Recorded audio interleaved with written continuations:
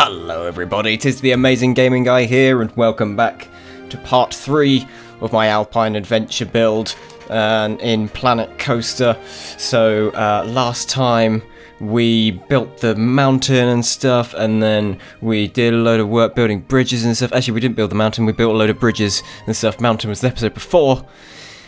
This week we're going to do um, another bridge, one more bridge, um, and then we're gonna start work on some shops and things and just really fleshing out this sort of area, the whole area around the entranceway to this ride. Um, and still haven't thought of a proper name for it yet. Alpine Adventure could be the name, that could be it.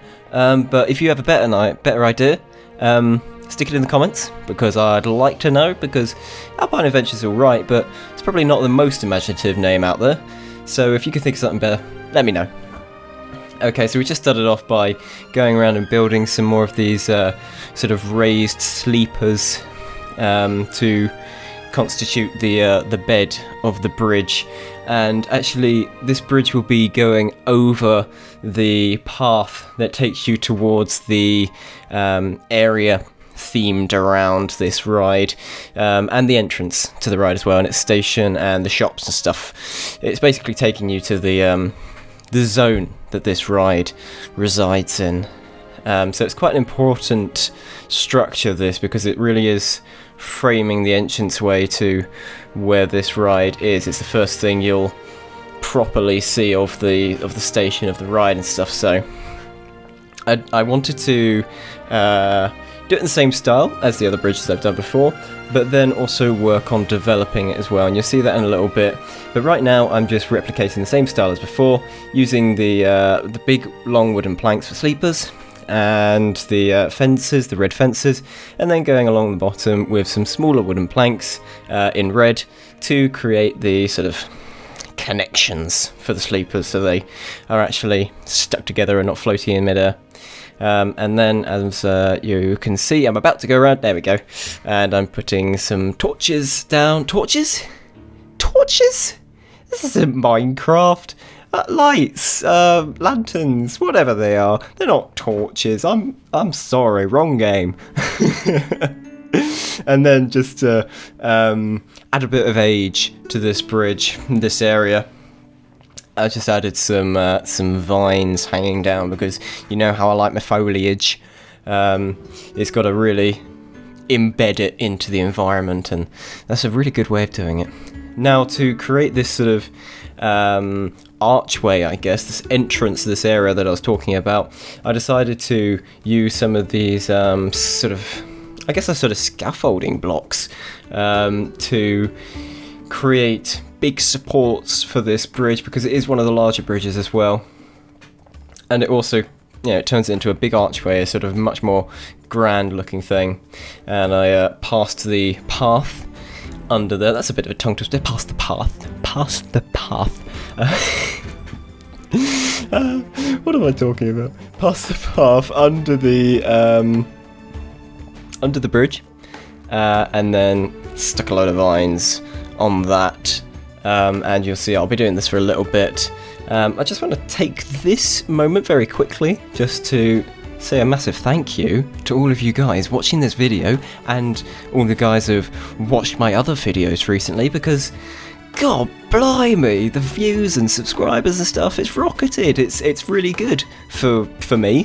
it's not great in the grand scale of YouTube, but for me, it's really good because we just hit 500 subscribers and I did a really funny video, by the way, if I do say so myself.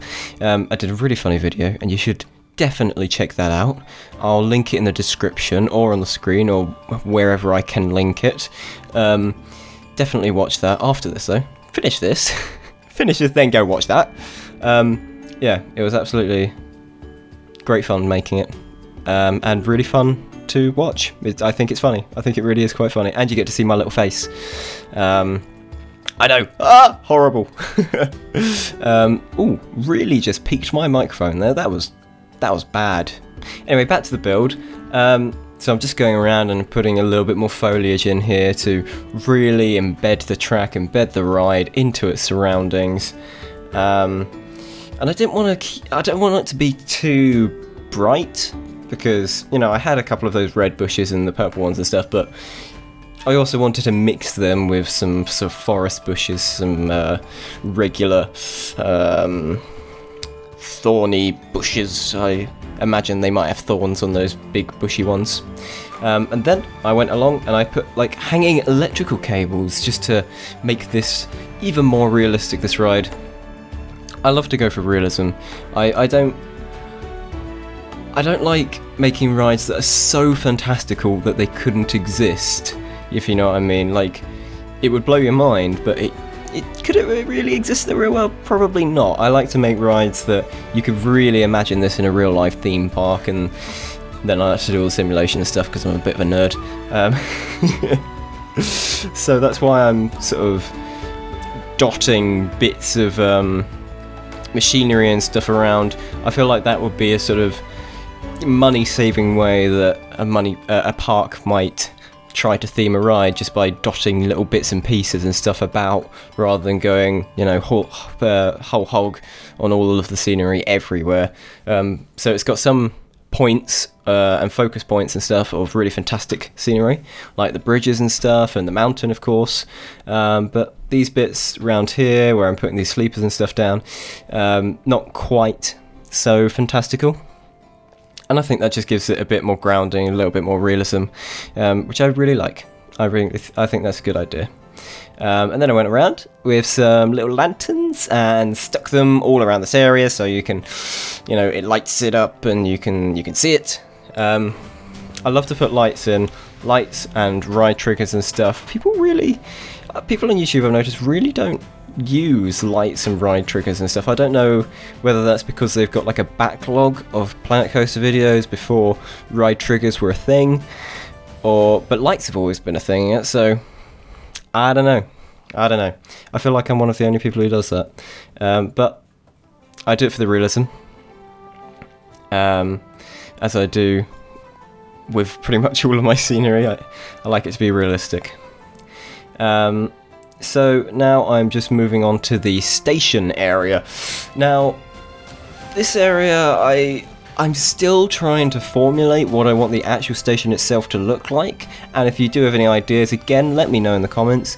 Um, well, of course, it should be some sort of train station, but I'm not entirely sure what that should look like and I'm going to try and form an idea of that in my head and do some drawings and stuff um, try to work that out before the next video but at this point in time I'm not too sure and it's a shame because I, I wanted to do it in this video. I wanted to start on station um, and get that oh well may maybe done at least started um, but I just could not think of a way to do it, a way to theme it and a way it would work. So um, I've instead opted to uh, start building this sort of courtyard area here um, where it will firstly connect to the ride um, and secondly there'll be shops and stuff here. This will just be the sort of zone for this ride. Now I haven't done this a long time so I thought I'd give the ride a little a little ride a little go. Um, and I'm gonna shut up whilst it goes around the track so you can enjoy the whole experience. So I'll, I'll come back in a minute. Okay, shh, shh.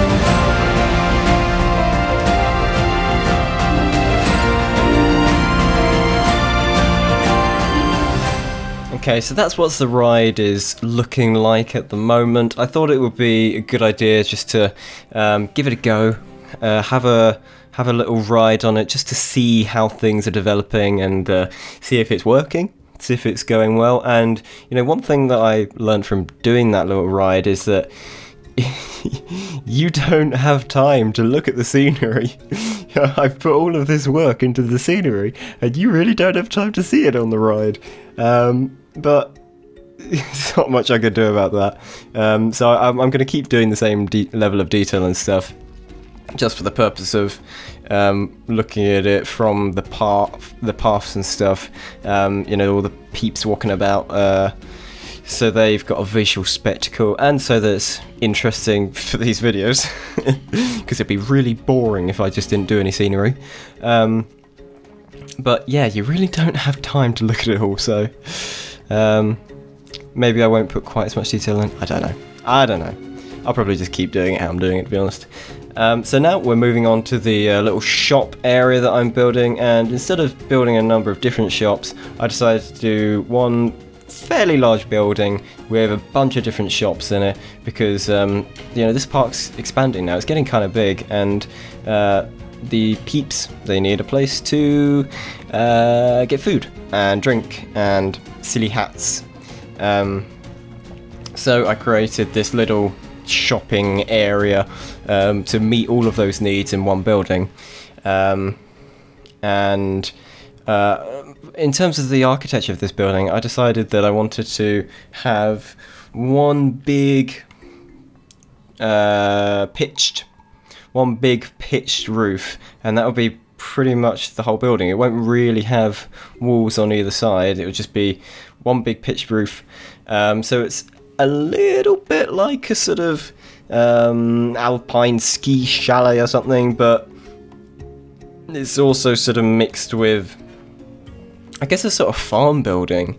It's a sort of merger between the uh, sort of fantasy party area, uh, which envelops the rest of the park so far, and then this sort of more mountainous alpine theme. It's uh, it's definitely a bridge between those two themes. Um, so I went around with uh, natural stone walls um, and uh, corrugated iron um, sloped roofs. And it took me a little while to decide what I wanted to put on this side bit because as you can see, when I go up to connect it, it actually clips through the front of the building there. And uh, that was a little bit of a problem for me. I had to try and find a way to get around that. Um, and you'll see in a minute, I just sort of ended up covering it with uh, foliage and stuff. Um, but you know, trees and foliage and bushes and stuff, it hides all manner of sins. Um, so it actually turns out quite well. But before that, I'm just sticking some windows on, trying to make it look a little bit more realistic. Um, and uh, like window boxes and things. Just trying to bring it all into the real world, you know, because it looks really blank at the moment. Um, and as a part of that little mission, I was also um, trying to build like a sort of awning roof thing to um, come over the pathway and the entrance just to make sure you don't get wet if you, I don't know, it's raining or something. I don't even know if it rains in this game. Actually, I genuinely, I don't think it does. well, forget that. It's got perfect this weather, this game. So it's obviously not set in the UK. Um, this must be like, I don't know, California or something. um, yeah, this is not a UK theme park if it doesn't rain. That's all part of the experience in this country. Um, so as part of creating more of that realism, I put those uh, crane things and stuff on, you know, just adding more realism to it. Uh, I'm going to make that my word of the day. Realism. You're going to get so bored of hearing that word. I'm already bored of hearing Okay, I'm not going to say that word one more time. I will not say realism again. God damn it, I just said it again. oh, God. I'm so bad at that. Um, so to add more uh, I need that word.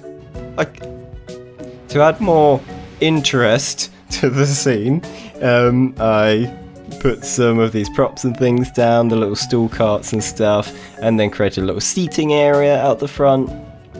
You know, just trying to um, make this a place that the uh, the peeps would like to hang out because you know you've grabbed your food and your drink and your silly hats and then you want to go sit down on some benches and eat your food and drink your drinks and share your silly hats with your friends and take selfies and stuff um, so that's what the little bench area is for and then vines and things to add more. And I'm not allowed to use that word.